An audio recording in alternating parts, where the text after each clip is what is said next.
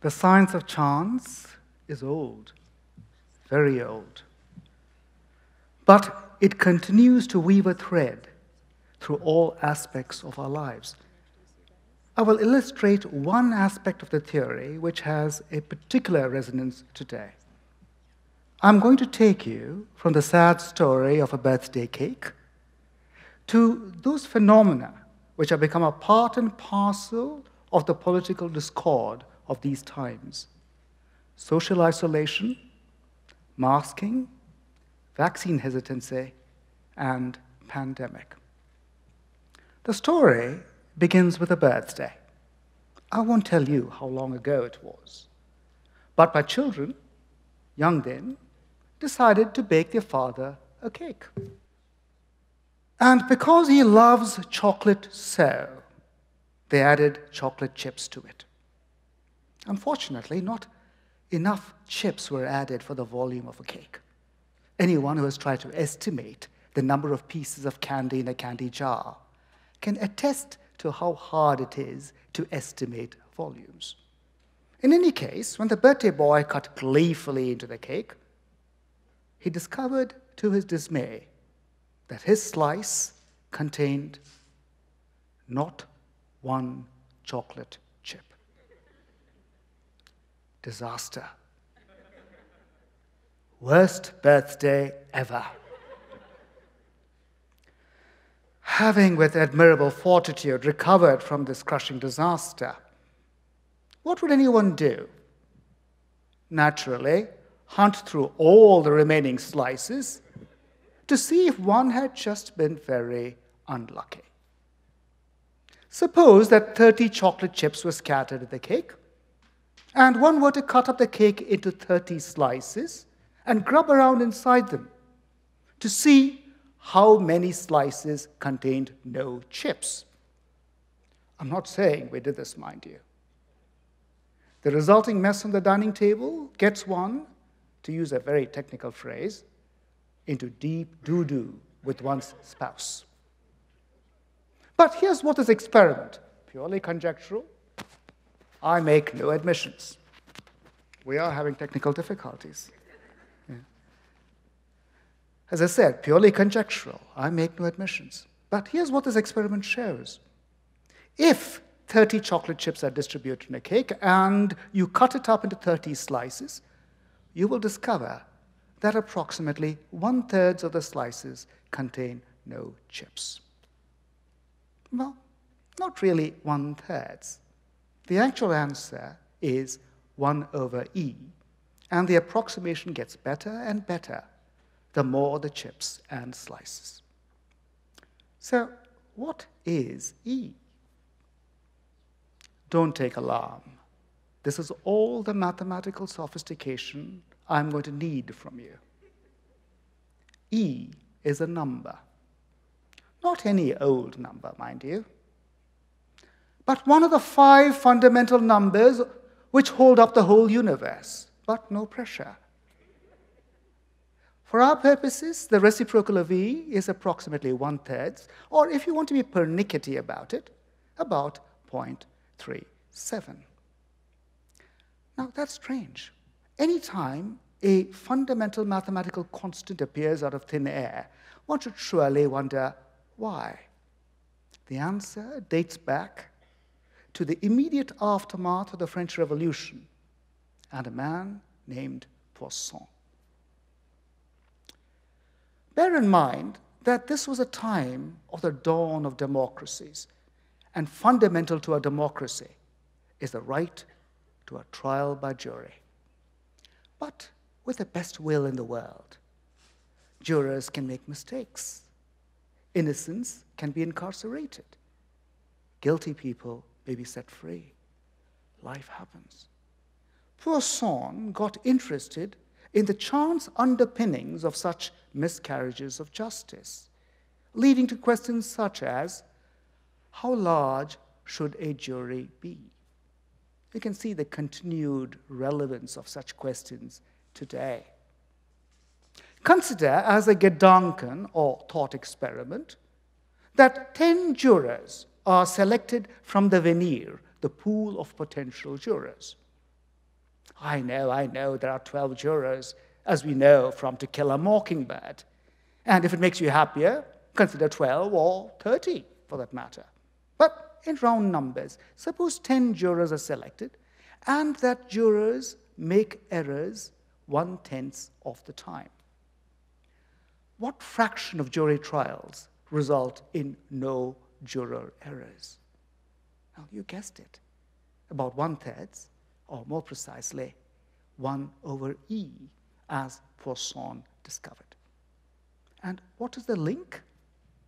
Juror errors, hopefully, are rare. The chocolate chips, sadly, were rare. Poisson's law arises in the context of rare events. Now, examples fitting Poisson's law are ubiquitous, from chocolate chips to misprints in a book, to traffic accidents to the distribution of stars in the firmament, from the banal to the sublime, as it were. But let me give you just one pictorial example. This time taken from the middle of the 20th century, at another time when the world was balanced on the brink of a precipice. War at any time and place is a barbarity. I could have picked any of the abominations from our history, but here's one such in the sad litany of human hubris and ambition. This montage of images shows the devastation visited upon London during the Blitz of the Second World War. I could just as easily have shown you the Allied bombing of Dresden, or the continuing horror that is the devastation of Mariupol. About a decade ago, the Bomb Sight Project set about mapping every bomb that hit the larger London area. Approximately 30,000 bombs fell on London in this period. If one were to cut up London into approximately as many city blocks as there were bombs, then the chance that any particular bomb falls upon a particular city block, 1 in 30,000, is quite small. It is a rare event. If one were to think of bombs as chocolate chips and city blocks as cake slices, what you have on screen is a macabre birthday cake. And now it will not at all surprise you to learn that the distribution of bomb hits in London follows a quite amazing, uh, macabre, but amazing fit to Poisson's law. In particular, the fraction of city blocks which had no bombs falling on them is, you guessed it, 1 over E. This is a political time, and a political time demands slogans, and here's one rare events are governed by Poisson's law. Now, rare does not mean inconsequential. Rare events can be very consequential. Think of category five hurricanes, wars, financial collapses, birthday cakes. Well, perhaps that's not on the same level of gravity as the others, calamitous as it was. Pestilences and pandemics. And this brings us neatly to the 21st century and the world again balanced on the edge of a precipice. This time confronted by a pandemic originating in one part of it and spreading rapidly and inimically to all portions. To date, approximately 100 million people have been infected by COVID 19 in the United States alone. And these 100 million infections, approximately, have taken place over a concentrated period of approximately 100 weeks. In very rough terms, this means that there have been about a million infections per week. Of course, this ignores the actual ebb and flow of the dread disease. But bear with me while we get a feeling for the scale of the disaster. Now, a million infections in a population of 350 million means that, on an individual basis, the chances of getting infected are quite small, only about three in a thousand. This is a rare event. Aha, I seem to recall an unfortunate birthday cake. Now, I do not mean to minimize the scale of this disaster. A million infections is a lot. At minimum, it's going to put hospitals under severe stress, and a surge will bring us to our knees. But on an individual basis, the chance of an individual being infected, like a particular chocolate chip falling into a particular slice, is small. And the behavior of the pandemic is going to be governed by Poisson's law. Now, of course, the pandemic is not static. Would that it were. It spreads virulently.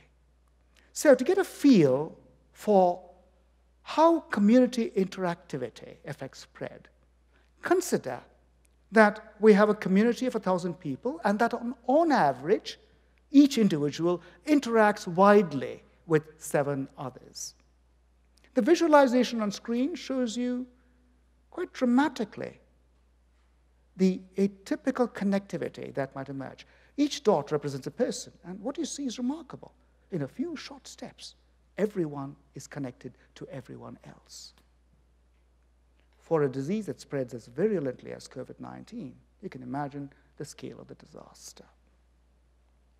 When the connectivity drops to just a little below seven, isolated individuals, hermits, if you will, start to appear. Though the fraction of such communities which are fully connected is still about one third. You know better, it's 1 over E. The point where hermits start getting absorbed into the larger connective is something that scales with the size of the population. Approximately just a bit below 7 in a thousand, about 20 in a billion. It actually scales as a logarithm of the size of the population, but I did promise you no more mathematics. So back to the picture. When the connectivity drops further below 7, more and more isolated individuals, hermits, and small cliques start to appear. And for example, when the connectivity hits 1.5, you see the picture on the bottom left of the screen. A lot of isolated individuals, small cliques, but there's still one large connected subcommunity. And of course, infection can spread rapidly and uncontained in that group. Now, what happens? More technical problems, I'm afraid. Now, what happens if connectivity drops just a smidgen more to 0.5? And now a dramatically different picture appears on the top left of your screen. Suddenly, the entire population is segregated into small groups and cliques. Spread of infection is stymied as the groups are not connected to each other. The pandemic vanishes quietly like the snows of yesteryear. And where is that magic connectivity, where this magic happens? Precisely at 1.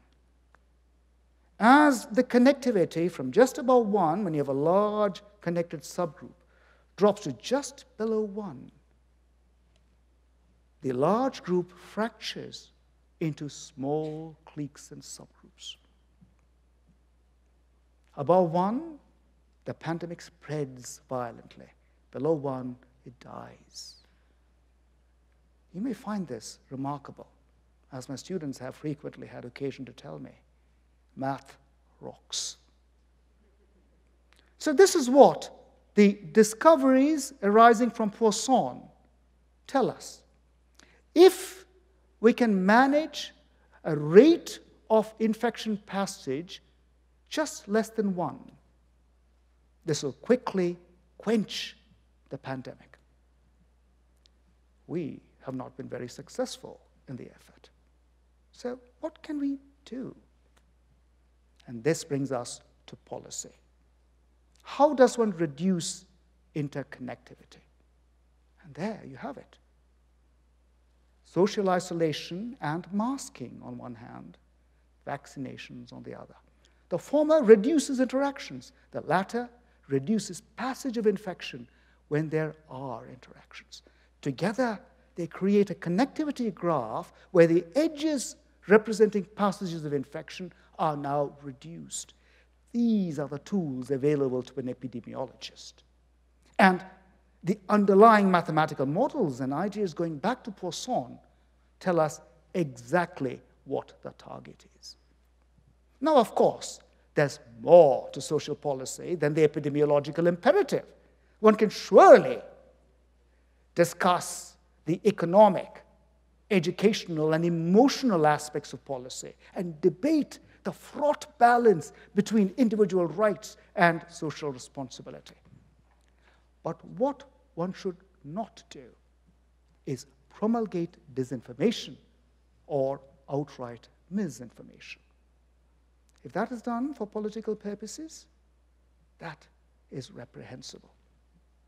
But if it happens because of a collective lack of exposure to quantitative ideas or even interest in them, then that is not only deeply regrettable, in the 21st century, that could be fatal.